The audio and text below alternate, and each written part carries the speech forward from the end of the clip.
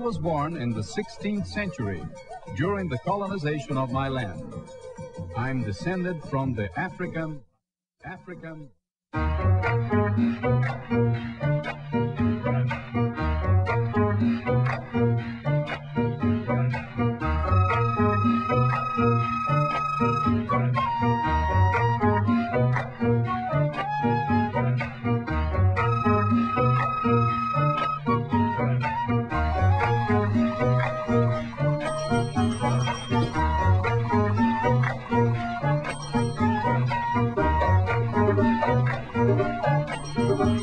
Thank